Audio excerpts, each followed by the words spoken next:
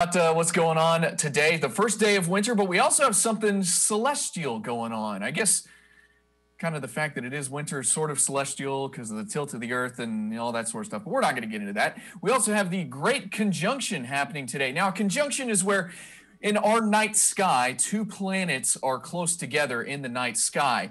Uh, just so happens that Jupiter and Saturn are close, going to be close together into the night sky tonight. They've been close together, but they're getting closer together. Uh, obviously, out in space, they're hundreds of millions of miles apart, but as we view them from Earth, they look very close to each other. So this happens about every 20 years.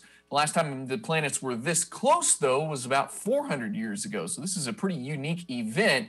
And because they're going to be pretty close together and they kind of look like one star or one bright object in the sky, and obviously we're close to Christmas, it's kind of been dubbed the Christmas star. So how can you see this? Well, just look to the southwest.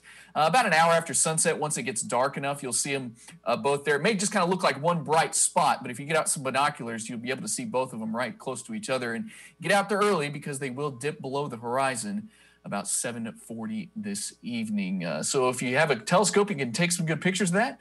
Make sure to send them our way. All right, back to you. Oh yeah, that'd be great. Good idea, Kyle.